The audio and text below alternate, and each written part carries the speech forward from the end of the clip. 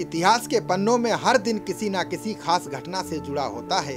ऐसे में 4 जून के दिन भी कई बड़ी घटनाओं ने देश और दुनिया पर अपनी छाप छोड़ी।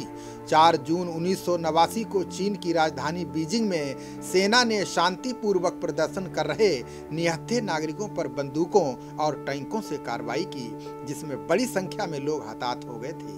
इतिहास में इसे थेन आनमन स्क्वायर नरसंहार के रूप में जाना जाता है।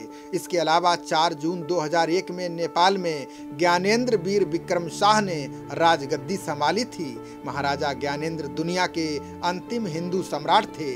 देश दुनिया के इतिहास में 4 जून की तारीख पर दर्ज प्रमुख घटनाओं का सिलसिलेवार ब्यौरा इस प्रकार है। आज के दिन उन्नीस में अमेरिकी खोजकर्ता और उद्योगपति जॉर्ज ईस्टमैन ने पहली रंगीन फ़िल्म का नमूना पेश किया था। भारतीय हिंदी फ़िल्मों की प्रसिद्ध अभिनेत्री बीना राय का जन्म आज ही के दिन 1931 में हुआ था। हिंदी सिनेमा की जानी मानी अभिनेत्री नूतन का जन्म आज ही के दिन 1936 में हुआ था।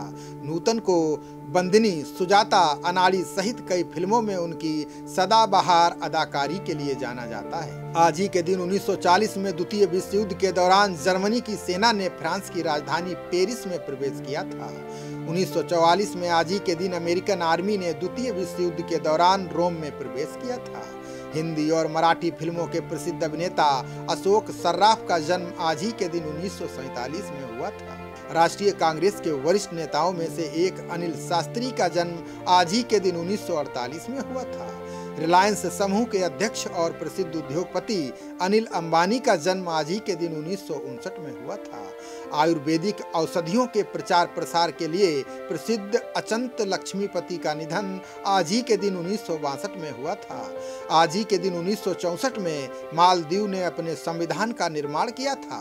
अमेरिका की प्रसिद्ध अभिनेत्री एंजेलिना जोली का जन्म आज ही के दिन 1975 में हुआ था।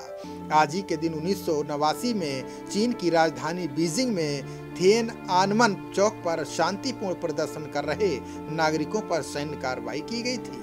उन्नीस में आज ही के दिन द्वितीय विश्व युद्ध के बाद अल्बानिया में पहली गैर साम्यवादी सरकार बनी थी। 2001 में आज ही के दिन नेपाल में ज्ञानेंद्र वीर विक्रम शाह ने अपने भाई और बेटे के निधन के बाद सत्ता संभाली थी। आज ही के दिन 2003 में डोमिनिक गणराज्य की 18 वर्षीय सुंदरी एमिलिया बेगा मिस यूनिवर्स चुनी गई थी। 2005 में आज ही के दिन लाल कृष्ण आडवाणी ने कराची में मोहम्मद जिन्ना को धर्मनिरपेक्ष व्यक्ति बताया था। आज ही के दिन 2006 में युगोस्लाविया के पूर्व गणराज्य मोन्टेनेग्रो ने स्वतंत्रता की घोषणा की थी।